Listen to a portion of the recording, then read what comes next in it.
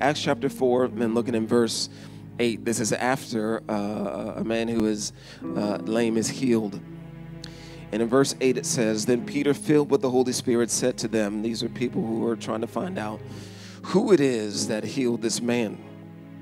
It says, Rulers of the people and elders of Israel, if we this day are judged for a good deed done to a helpless man, by what means he has been made well, let it be known to you all and to all the people of Israel that by the name of Jesus Christ of Nazareth, whom you crucified, whom you who God raised from the dead, by him this man stands here before you whole.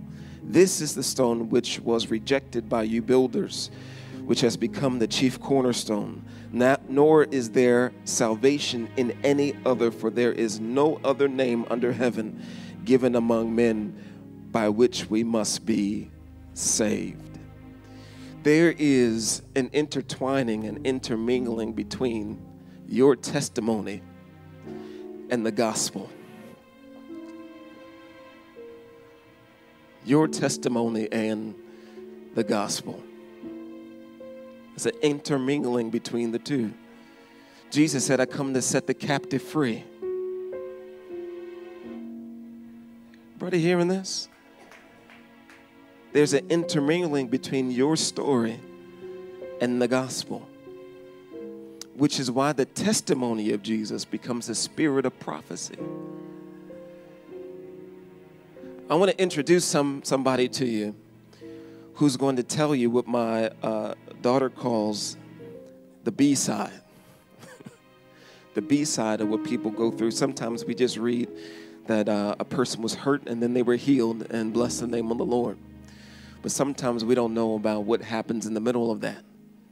We find out that a person is hurt, and then they get more hurt, and then they have to navigate that hurt. Anybody know what I'm talking about? Anybody ever had to navigate pain? Navigate friendships? And then things go left and then things go right. And how how is it if I'm in the middle of that?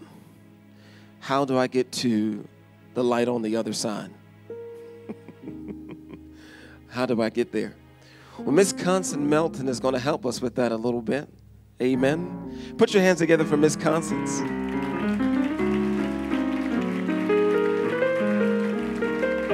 Amen. Come on, keep on clapping. Keep on clapping. The spirit of prophecy is walking up here right now. Thank you, Jesus. All right, Miss Constance, to sit right there. Amen. Now I'm going to say this for everybody who's looking for me to start yelling and running all around the stage. That's not what this is about today. So if you need that to get to another place, then after you leave here, you're going to have to find another service.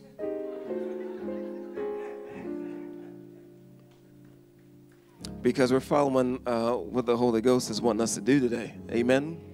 So I want you to listen intently and understand because as we're talking, you're going to hear uh, some things. Well, you're definitely going to hear some things about Miss Constance here. But you're also going to understand some things about how. Amen? Sometimes it's the how. How that, that's to uh, really help us. If I just knew how, if I just knew how this, this works. Amen? Amen. So let's pray. Lord, right now in the name of Jesus, we thank you for what you're doing. We thank you for your spirit, your anointing, your, your power, Lord, your majesty, your presence in this room, Lord. Do a work in us that only you can do, Lord. Be God for us and we'll be your people. Lord, you said in your word that the testimony of Jesus is a spirit of prophecy, Lord. So we ask you, Lord, as we're hearing this testimony, Lord, that this testimony becomes prophecy to us.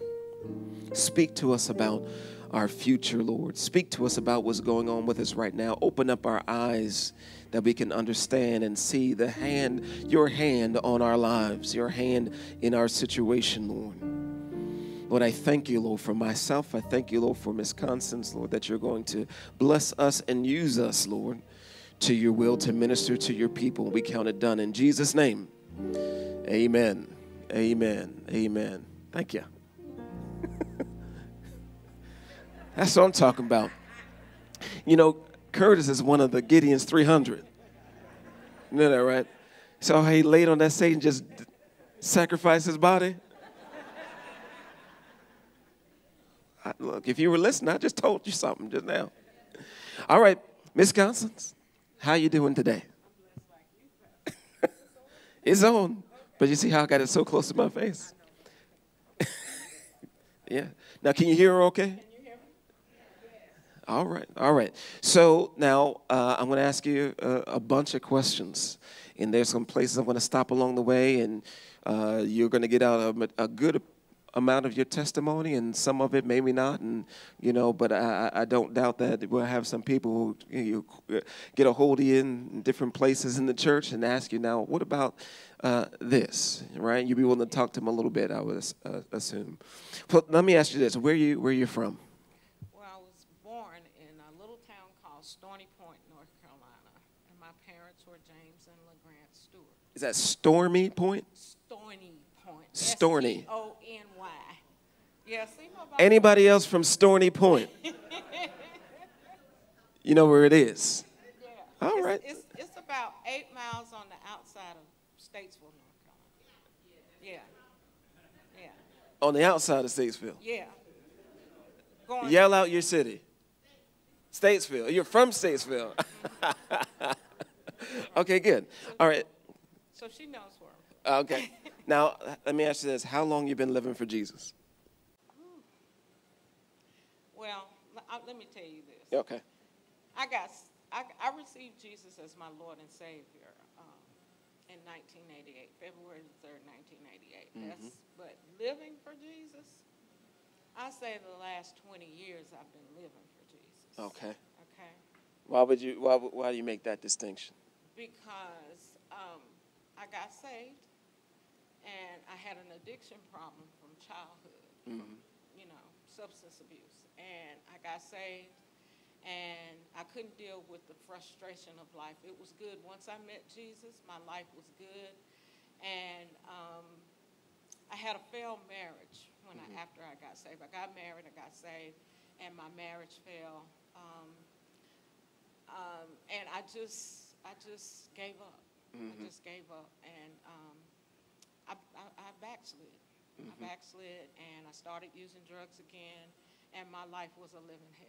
Mm-hmm. Yeah, mm-hmm. yeah. Mm-hmm. So that's why I put it that way. So, so what I'm hearing uh, very distinctly is that you were saved, mm-hmm. and then you backslid. But then you're telling me that God picked you up again? Oh yeah, oh yeah, oh yeah. Oh, yeah. Anybody want to put your hands oh, together yeah. for that? Oh, yeah. Oh, yeah, sure. So you came to church, you gave your life, and then you went your own Got way. with the Holy Spirit, speaking in tongues, all mm-hmm. of it. Mm-hmm. mm-hmm. You know, you know, there's some people. God changed me. You know, there's some people filled with the Holy Ghost and happy to be mean at the same time. Uh-huh. but what you're saying is that God didn't throw you away. Were there any family members who threw you away? But God didn't.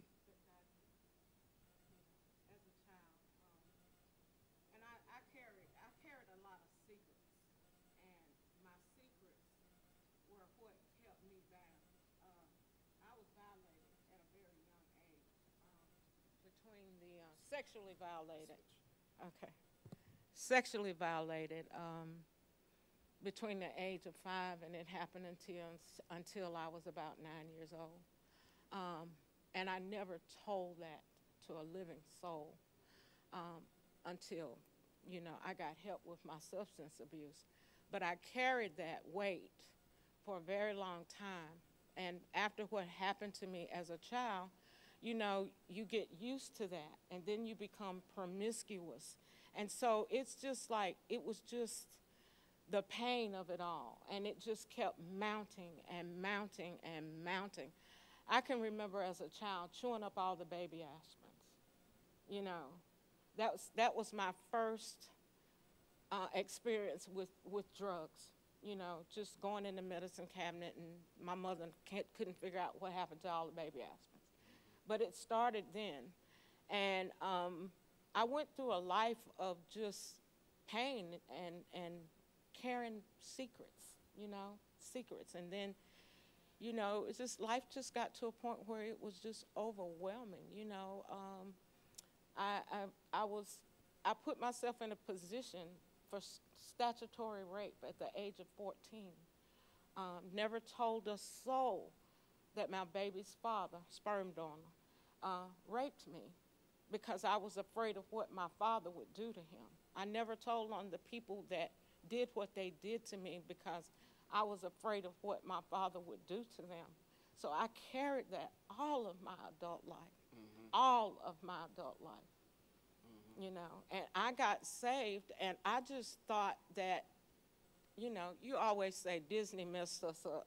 Well, I believed in magic, you know. Mm-hmm. And I thought when I got saved that everything was just going to go away, mm-hmm. you know. And I thought everything was going to go all right. I never dreamed that my marriage was going to fail, that the things that happened in my marriage was going to happen. I never thought that I would do another line of cocaine ever in my life after I got saved, but that didn't work. It did not work. Now, now let's talk about let's talk about this. You you, you talked about these secrets, mm-hmm. right? And I would imagine that those secrets were heavy. Yes. So what was the the how hard was it to keep so many secrets? I just ran, mm-hmm. and I just kept running to destruction. You know, um, like I said, I, I was raped, statutory rape. I put myself in that position. I, I have to take responsibility for for myself, uh, but no means no, irregardless. Um, and uh, I had a child by the time I was 15. I was still a child myself. Mm-hmm. Uh, I had a very domineering mother, and I want to say this my parents did the best they could do. I had two parents that were good people that loved us, but they gave us what they had to give. Uh, my father was an alcoholic.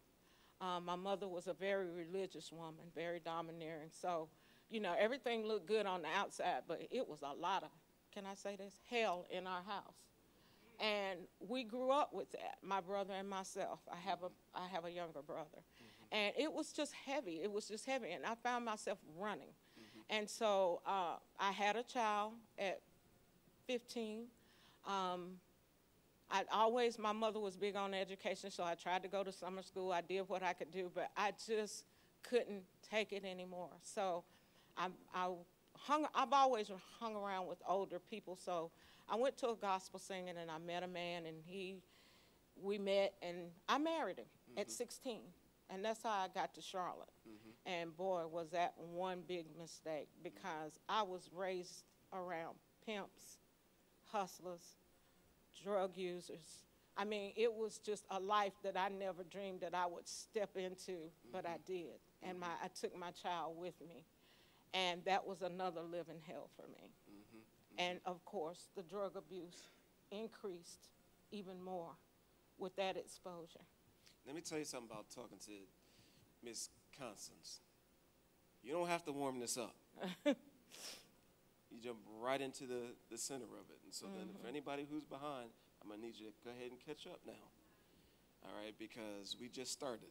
Mm-hmm. okay? Now, I know that all of us don't necessarily there's some of us who are facing what have faced what you're talking about, mm-hmm. but not all of us have faced what you're talking about. Mm-hmm. But I- is there a significant difference between the person who is, uh, and I know I know what the answer to this may be, but is there how how significant is the difference between the person who is just carrying uh, lies, lies that they told to protect themselves, mm-hmm and a person who is uh, carrying hurts in a way to try to protect other people? I think it's still the same, mm-hmm. you know, because for me, it happened from all types of directions. You know what I'm saying? I want to say this about myself. Mm-hmm. Um, I was all that. I was always that little kid. Have you ever met a child that just seemed wise beyond their years. And you just like, and I was that kid. And, and I would have dreams. Um, and I would try to tell my mother my dreams, and I would tell her dreams, and they would come true. And she stifled that in me because it, it scared her. So I've always been that kid to, have, and when he was talking about uh, God knowing us from the womb, that resonates with me, and it always have.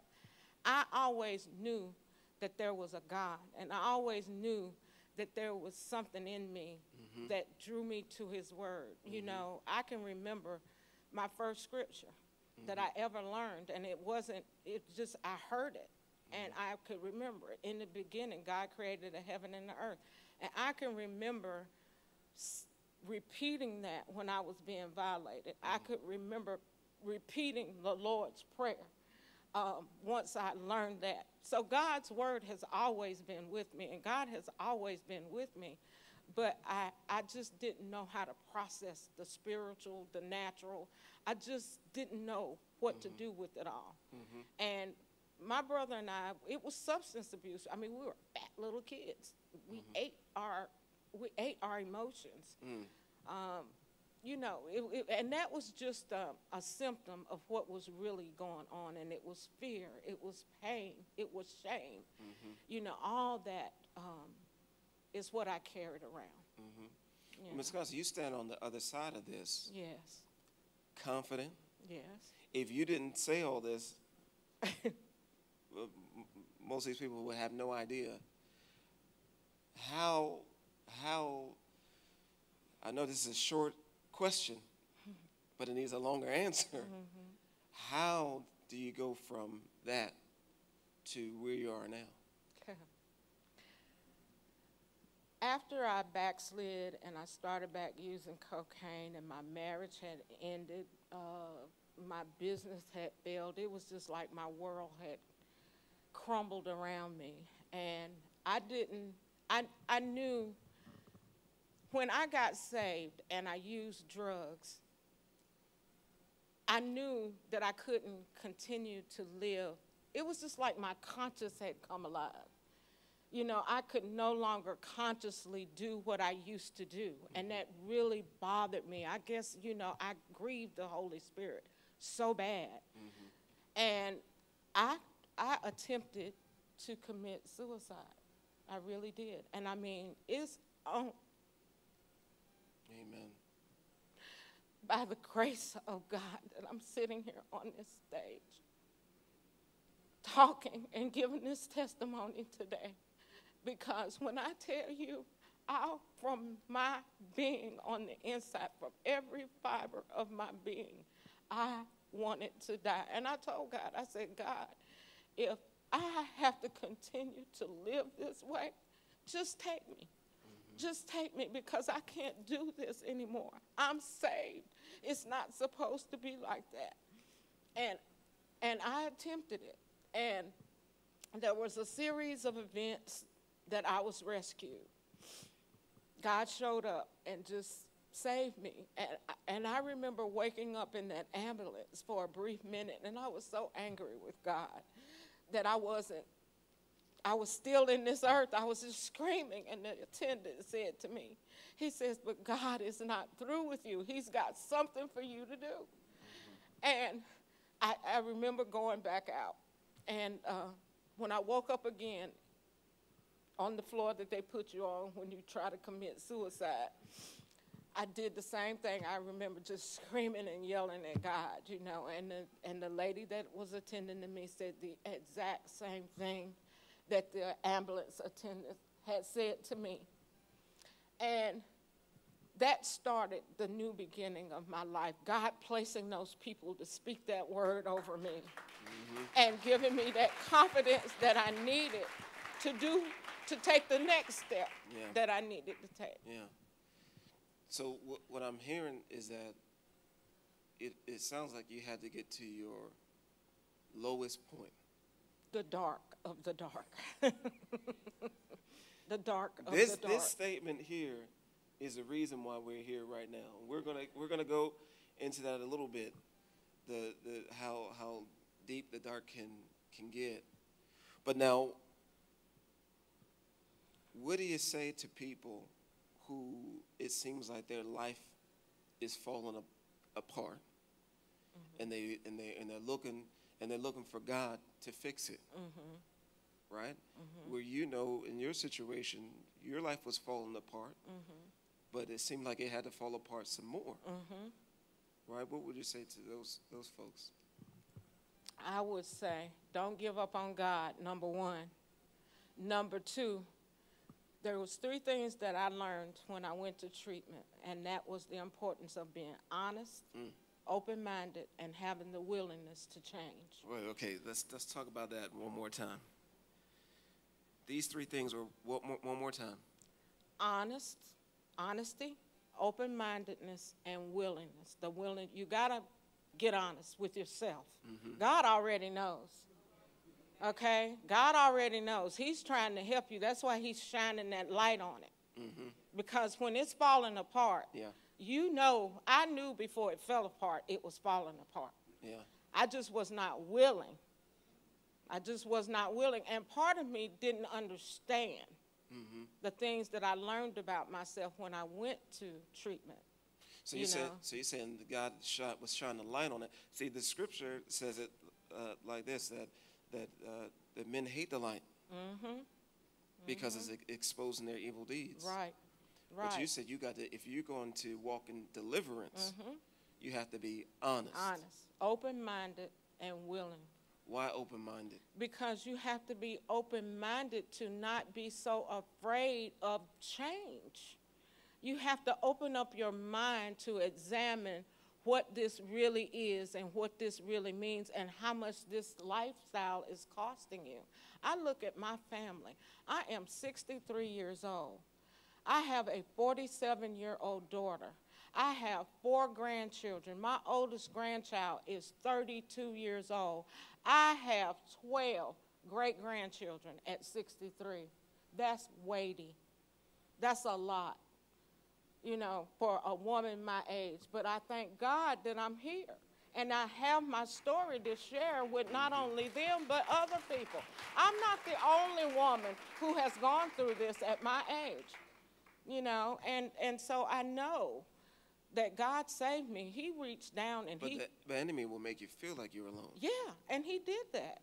Mm-hmm. He shrouded me with shame and guilt. Those were the two my two biggest enemies that shame and that guilt. Even after i got saved you know i after i got saved and after i backslid you know he he had even tricked me into not reading this bible because i could open that bible and get so convicted i didn't realize that that was the holy spirit at the time because i wasn't mature mm-hmm. in christ mm-hmm. you mm-hmm. know.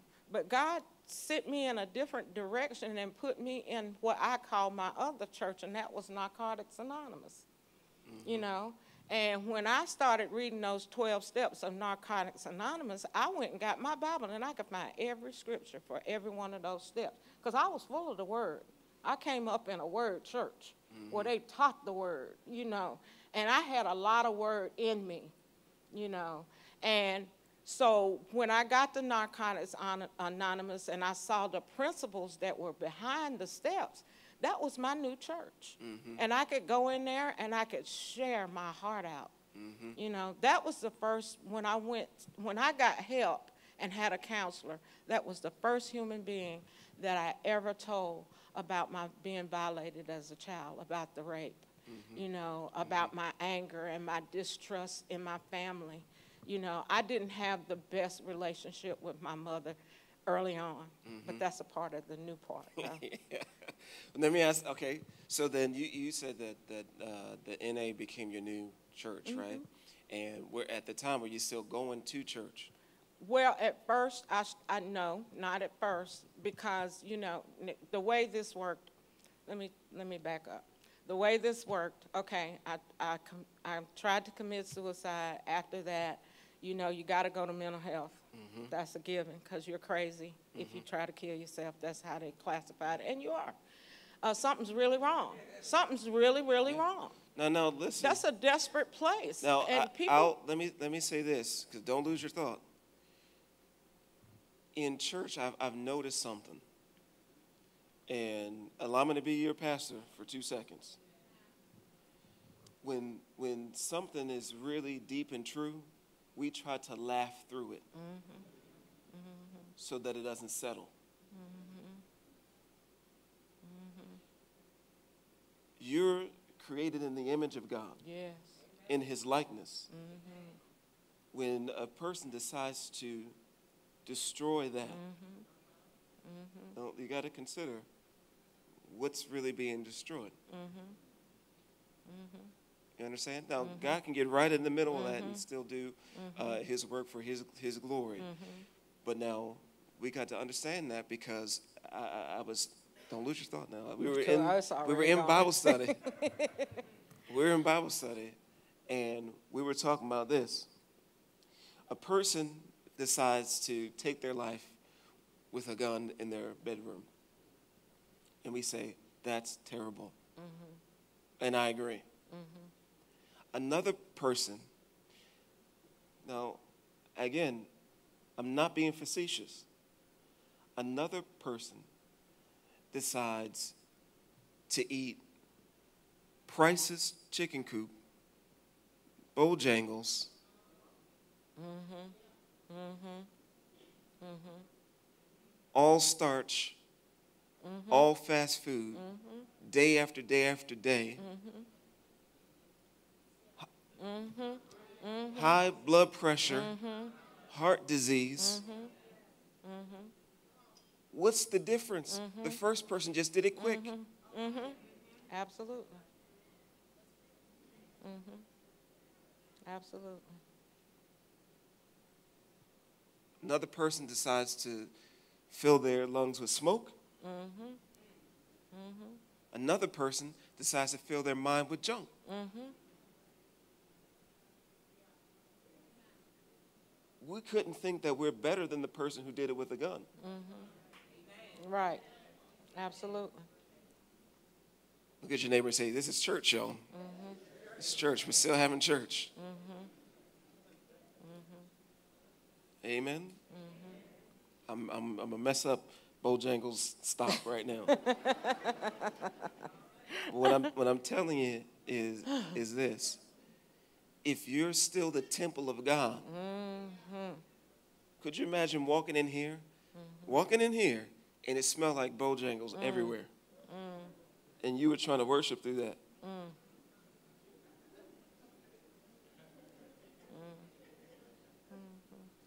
And on the screen was pornography. Mm. Mm. I'll stand up for this part. Okay. And on the screen was pornography, smell of Bojangles in here. And then Yeah. it's not the glory cloud, mm-hmm. Yeah. cigarette smoke here. And the music was club music.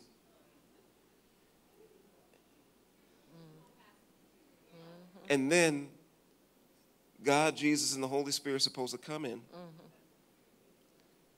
and deliver you from your choices. Mm-hmm. But we're the temple. Yes. Yes. We can't turn up our nose at the person mm-hmm. who does it quick and we're doing it slow. Mm. Mm. Amen. Amen. Look at your neighbor one more time and say, Something's got to change. Something's got to change. Something's got to change. Something's got to change. The Holy Ghost is, is in you and you watching pornography. Mm. You show them the Holy Ghost pornography. Mm-hmm. Something's got to change. Amen. Mm-hmm. I know. It's okay because that's that's part of the peace. You mm-hmm. know, I was saved, filled with the Holy Spirit. And that was the thing that was bothering me. It's because I was doing all that stuff, you know, and then, you know, uh, just some of the strange things that would happen to me when I would get high. You know what I'm saying? It was just awful. And I just didn't want to live like that anymore. But I thank God that He pointed me in the direction that I needed to go in. And, you know, even when I got, went through treatment and, and went through counseling and started going to meetings, you know, because I went to meetings because I was used to going to church. Yeah. So I did everything they told me 30 meetings in, you know, 90 meetings in 90 days, go to meetings every day, get a sponsor, get a counselor, work the steps.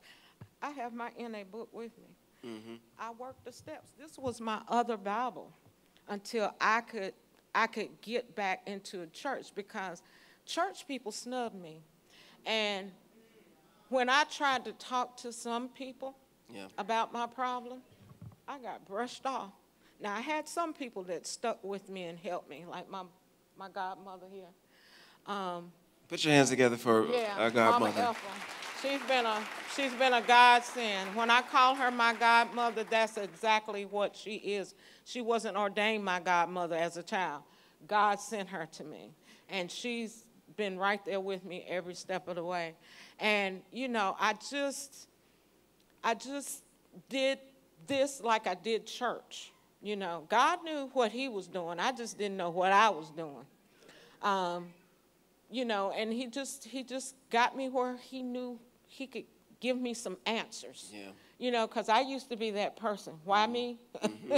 That's mm-hmm. why I tried to make every section of that because I used to ask God that. Why me? Why me? Why me? But I've learned about His sovereignty, you know, um, through the things that I've been through, you know, um, and I just, I just had to continue to fight and contend because I started recognizing once I got the drugs out of my system and I started um, practicing the principles of the Bible, because that's what they are, and doing some of those things for myself clear headed, I started setting boundaries and I started doing things Come on, let's talk to about those boundaries. stay where I needed to stay. Well, first of all, I started paying more attention to myself than other people. That was one of the first things that I did. The second thing was I had to start making decisions about where I was going and who I was going with, and even in NA, even in the church, I had to start making better choices about who I was around and what I had and what they had. And you know what I'm saying? Mm-hmm. It had to be a little more balanced, you know, whereas before I just went along with the crowd because that's what I did. And you got to remember the, the most part of my adult life, pimps, prostitutes, drug users, that's who I was. That's how mm-hmm. I lived. Party, party, party, drugs, drugs, drugs. I did all of that mm-hmm. With a little girl in tow. Mm-hmm. And I had to apologize. That was the first amend that I made after I made it to my mother. I had to make an amend to my daughter because I drug my daughter through that. You know, and I started learning to make those amends, receive forgiveness, forgive myself. That mm-hmm. was the biggie mm-hmm. to forgive myself. I, I, you know, I could forgive other people, you know, but myself, and just keep it moving and try to do better. I, you know, even now, I try to make changes. I, I assess my my actions every single day. I mm-hmm. do. I take time to think about my day. I think time. I take time to bring that to God, even throughout the day. If I'm confronted with somebody that's mean, because see, my mother was she was a good person, but my mother had a mean spirit, mm-hmm. and that meanness it strikes me. Mean Christians. I ran into mean Christians that would just take the word and just beat me up with the word. So I don't, when I see that coming, I just I remove myself from that. You know, when I came to this church, I was still smoking. I don't smoke anymore. To God be the glory. To God be the glory. Because I knew that that was another thing that was going into my temple that God was not pleased with. See, my heart has changed my heart is is with pleasing God now, not people. And once God delivered me from that, mm. I've become a different person. I mm-hmm. really have, and I endeavor to take that inventory every day mm-hmm. and think about my day, ask God to forgive me, ask Him to help me to forgive myself, and to face the next day. Because one thing NA taught me is one day at a time, and the Bible tells us that mm-hmm. in Matthew. Take no thought For tomorrow. for tomorrow, you know. And that's what I do. I try to stay in the day. Sometimes I get way out there and I say, oh, okay, Holy Spirit. And another thing I do, develop your relationship with the Holy Spirit. Do not take that lightly. He is our guide, He is our comforter, He is everything in us that we need to be like Him. You know, He is. And, and once God got that established and I started cleaning up that temple, my temple, and getting all that junk out, then he could do the work in my heart. Now you're telling me you were cleaning it up. You know, you know. You were cleaning up your temple. You know when I was saying, yeah, when I was cleaning up my temple by not putting that stuff in Everybody there. here, you right here? Yeah. She was. Now we say, God, take out of me. Uh, Whatever. And I and I pray that, and I, and I probably will pray that in the future. But what I'm saying is, you have to make the choice. right, right. It's like, would you expect to walk into your house and then see your house is a mess and say, God, There you go. Mm-hmm. take anything out of here Right. Right. that is now you would you would you you would be messed up if you saw the trash bag itself up and float through your house out the front door. You wouldn't want to go back in there. Which means that you have to be the one Right. to bag that up, right. right? Take it out the front door because it, the trash doesn't belong inside your house. Smelling up the house. Anybody ever come home and you smell trash? Yeah. Mm-hmm. Y'all ready for this? You ever ask God to come into your life? Hmm. he get to the door of your temple, mm. open it up. Mm. Mm. And he scrunch up his nose. But God loves you so much, he'll walk in there anyway. Yeah, he will. He will. He will. Walk in there anyway. Yeah. Amen. But we have to make the choice to We to have clean to it make up. the choice. We have to make the choice and we have to do the work. And the only way we can do the work is, like I said, cultivate that relationship for me. Cultivate that relationship with the Holy Spirit. And What does that what does that look like? that looks like renewing your mind with the word. Mm-hmm. You know, getting in that word, studying that word, not just reading it so you can spout Christians, scriptures to make yourself look good. I mean, actually, because what I learned is I had so much word in me that I was just obese on word, and the word wasn't doing me any good. Now, that's what I learned about myself Said obese on, on the, the word. word. Yes, that's where I was. Scripture says by now you ought to be teachers. There you go. And that is another thing. God told me after after I went through what I went through, I had a supernatural experience. And God told me that my office in the fivefold ministry is teacher. Mm-hmm. So that gave me another responsibility. Okay, you need to get this together. And then health scares, you know. I had to deal with the consequences of that living with health issues. I'm a cancer survivor.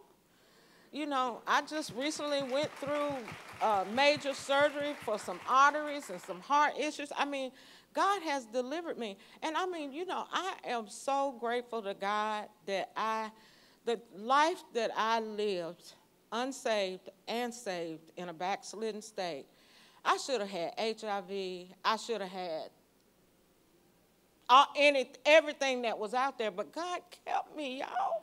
How can you not serve a God like that? How can you not? How can you not? Mm-hmm. You know, so that's why you see me on my knees and raising my hands and just doing my radical praise because I don't just do it in here, I do it at home.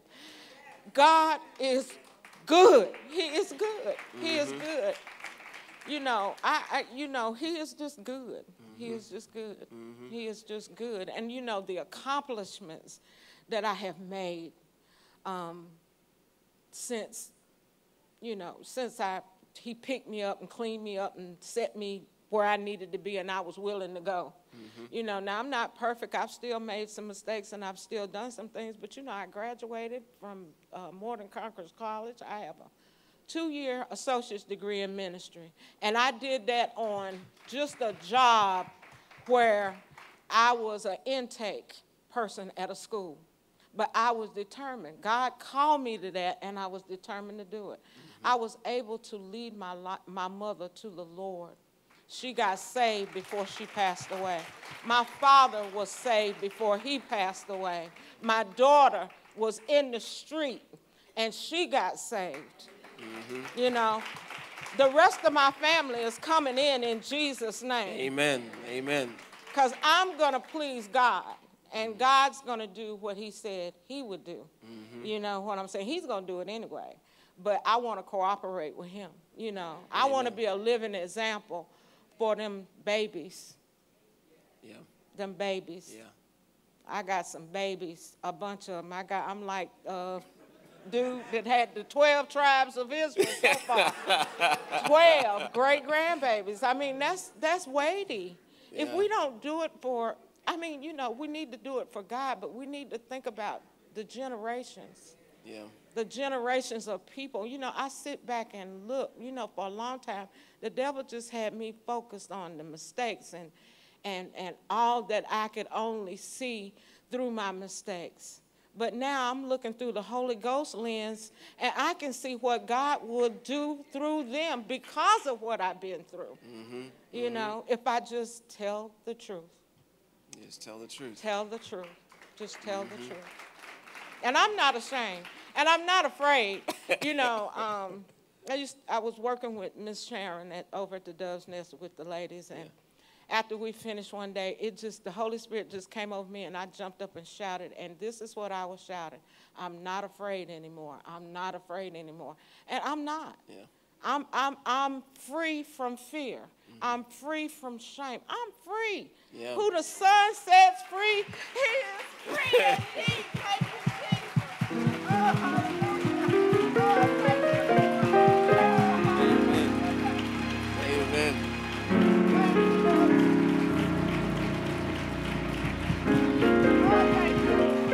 Come on, somebody bless the Lord right now. Who the Son sets free is free.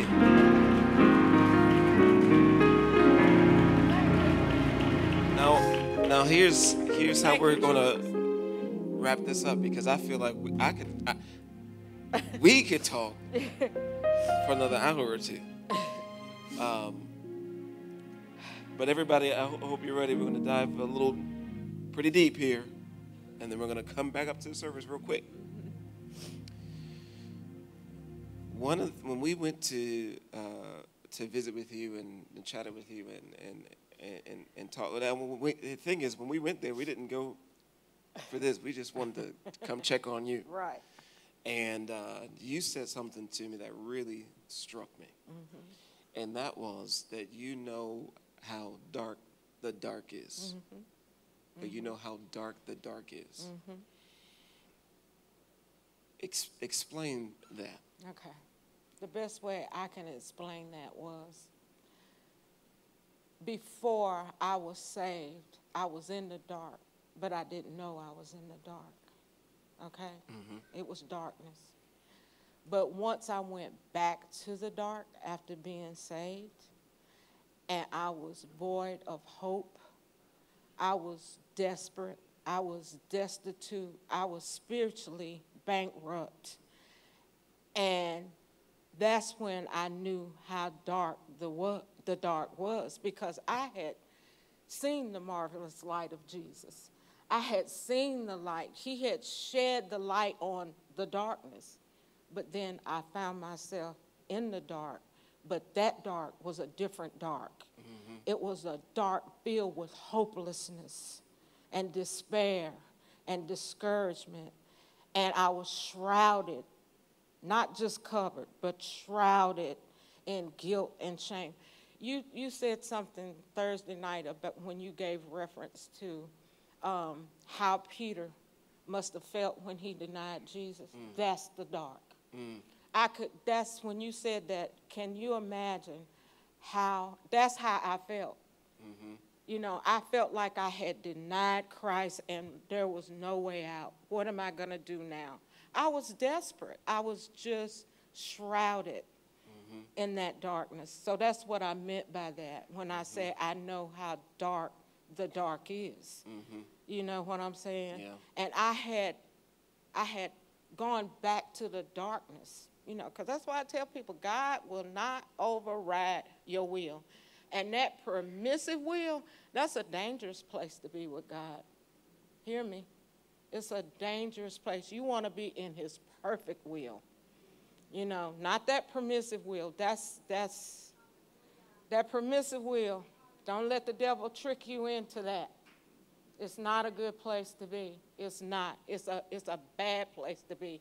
And before you know it, the enemy will snatch the rug out of you, out from under you, and you you can't see. I couldn't see anything in that darkness. I couldn't see anything. I couldn't hear anything. I couldn't read the Bible. I couldn't pray in tongues. I couldn't cry. And I'm a crybaby. And I knew I was in trouble when I couldn't cry, mm-hmm. you know. And I was just shrouded mm-hmm. by that darkness. You know mm-hmm. what I'm saying? Completely covered in it, you know. And, and that was the thing that, that led me to the suicide attempt, mm-hmm. you know. But I look back at it now, and Yeah. that was that was the surrender God wanted from me. I, I don't recommend suicide to anybody. That's not what I'm doing.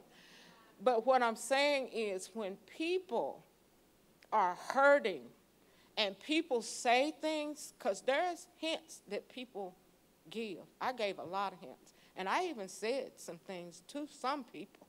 And they just shrugged me off. Don't do that. Please don't do that. Pray with them. Let them talk. Sometimes you just want somebody to listen to you. I know that's what it was for me. You know, I just wanted You weren't to looking talk. for anybody to fix it. Right. You- I you just needed needed to to talk. I just needed somebody to hear me, to hear what I was saying. I always felt like I was never heard, even from a little child. I always felt like nobody heard me, Mm-hmm. except the pimps, the prostitutes. And then when I went to NA, Mm-hmm. you know, and today, today, I feel like those that have ears to hear are hearing me today, you know, and that's that's my prayer, Amen. you know, with this testimony. Amen. Yeah. Amen. Put your hands together one more time for Miss Constance. I'm going to ask that everybody stand. Everybody stand right where you are. Wasn't this good? In Revelation, Revelation 19, it says again that the testimony of Jesus is the spirit of prophecy. And I'm hoping that you heard in our short conversation, it was shorter than the first one. you heard something that you can take with you to help you, or maybe to help a loved one, or maybe just listen to this, you know, I need to make some changes. Some things I need to do different.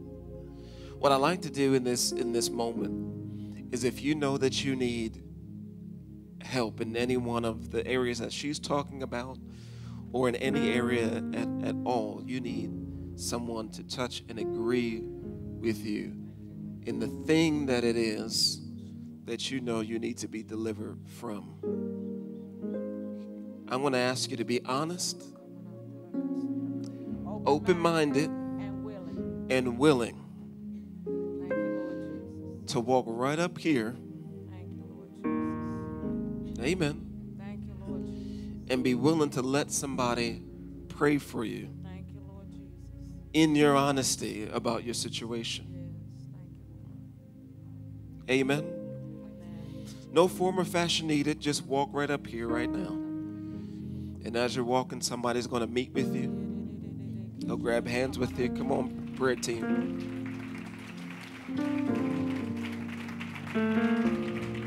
It's Deliverance Day. It's Coming Out Day. While I'm still talking, I just want you to shake hands with somebody, grab hands with someone that you know, you know what, I, I, I'm going through this. I got to be honest. I got to be honest. Thank you, Jesus. Amen. You got to be honest. Here we go. Here's, here's Belize. He's free. Thank you, Jesus. I'm going to ask this also. Right now, with your family members, your friends that you're sitting with, whoever it is, I'm going to ask you to do something. Could you grab hands with them? Could you hold a hand? If you don't know them, just, you know, introduce yourself. It may be that you're not ready to be completely honest with them or tell them all your deepest, darkest secrets. But it may be that you're able to tell them that you are going through something. I'm going to ask that you turn to that person right now. Can you do that? I see everybody kind of holding hands in a chain, but I want you to turn to that person right now. If you're a family people, just gather your family together. Amen. People up here, they're getting delivered. Amen. They're getting delivered. But I want you just to turn to that loved one, turn to that friend, turn to that person you just met. Let them cry if they need to cry. Speak to them. If you can be honest, be honest and tell them what it is that you're going through. I'm going to ask as you hear it, don't judge them. And just pray for them. Thank God for them. Cover them in the blood of Jesus. Ask the fathers to pray over your family. Mothers, pray over your family. Just take some moments right now and just thank God. Thank God for your family. Thank God for deliverance. Thank God for freedom. Thank you, Jesus.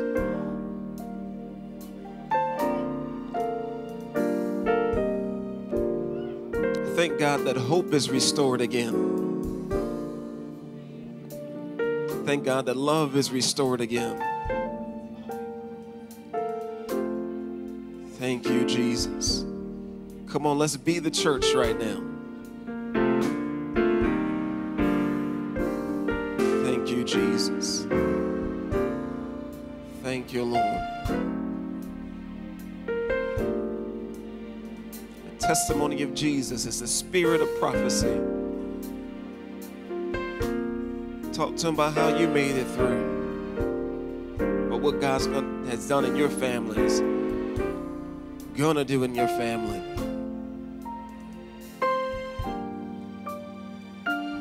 Thank you, Jesus.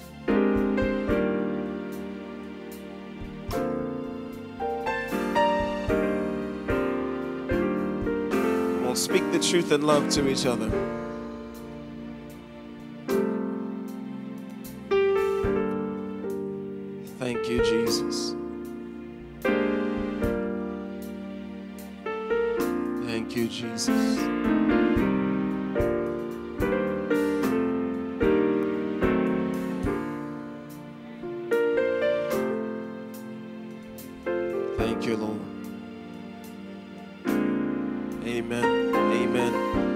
Right, let's pray. Lord, right now in the name of Jesus, I thank you for your spirit. I thank you for your anointing, Lord. We thank you for using Miss Constance to speak to us, to speak to deep places in us, Lord.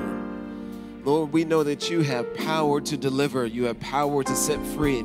So we ask you right now in the name of Jesus that you would set free, that you would set each family free, Lord, that you would set each father free, that you would set each mother free, Lord. Set their children free, Lord. Set every man, every woman, every child. We thank you, Lord, for freedom right now in the name of Jesus. We thank you for what you're doing in their lives, that you've just been building a testimony, Lord. Lord, so that when they share it with somebody else, it will bring them out too, Lord, one after another, Lord. Bring us out, Jesus. Lord, we thank you, Lord, that you have placed us, Lord, on the road that leads to you, Lord, that you place us on a path, Lord, that leads to freedom, Lord. That we thank you, Lord, for every chain falling off of us right now in the name of Jesus. We thank you for breakthrough, Lord, and deliverance, Lord. We ask you right now to allow us to be honest with ourselves honest with ourselves as you're shining light on our lives, Lord. We thank you that we wouldn't turn from the light, Lord, but we would look up at you, Lord, knowing, Lord, that we could cast all our cares on you because you care for us, Lord. Lord, we thank you right now, Lord, that we'll be honest, Lord, open minded, Lord. Our spirit will be open to you, Lord, and to you only, Lord, to speak to us and comfort us, Lord. Lord, and to help us to do what it is that you called us to do. Lord, you've been so precious to us and precious in our lives, Lord. So we ask you right now to allow us to be precious to ourselves as well, Lord. We thank you, Lord, for the strength that you place in people around us, Lord, to speak to us. Lord, to hold our hand through things, Lord, to help us and pray with us as we're going through these things, Lord. Lord, we pray for them right now in the name of Jesus. Continue to strengthen them, Lord. Continue to empower them, Lord. Lord, I thank you that you will continue to comfort them, Lord. Lord, as they comfort others, Jesus. Lord, we thank you, Lord, for that one in the family, Lord, that the family turns to when they're in trouble. Lord, I ask you right now to bless that family member. That they would continue to do what it is that you've called them to do, Lord. Lord, we thank you, Lord. We bless you right now. Lord, I ask you now, Lord, as we get ready to leave this place, bless every family, Lord. Bless every household. Bless their dwelling right now. I thank you that they will go through that dwelling, Lord, making it a place for you, Lord, making it a dwelling place for you, Lord. Lord, and as they're doing that, Lord, even in themselves, we thank you right now that we are dusting, Lord, the furniture Lord, that we're vacuuming, Lord, that we're cleaning our vessel, Lord, that is worthy, Lord, that is ready to receive the master of the temple. Lord, we thank you right now. Give us strength, Lord. Give us wisdom. Give us eyes that see, Lord. Ears that hear and a heart that understands what the Spirit is saying to the church, Lord. Lord, and we ask you to do this, Lord, specifically. Help us to be your church. Help us to be your church, Lord. Help us to be the balm of Gilead for a, he- for a nation that needs healing. Help us, Lord, to be a, a comforting, Lord, for people who are coming through the doors hurting. Lord, we ask you right now, Lord, that we will put down that judgmental spirit, that backbiting spirit, Lord, whatever it is that we wouldn't gossip about our brother and sister. We would pray for our brother and sister, that we would encourage our brother and sister, that we wouldn't beat them up with the word, Lord, but we would speak the truth in love. In love, Lord. Give us the courage to do it. Give us bravery to do it, Lord, and we'll be forever grateful for it, Lord. In Jesus' name.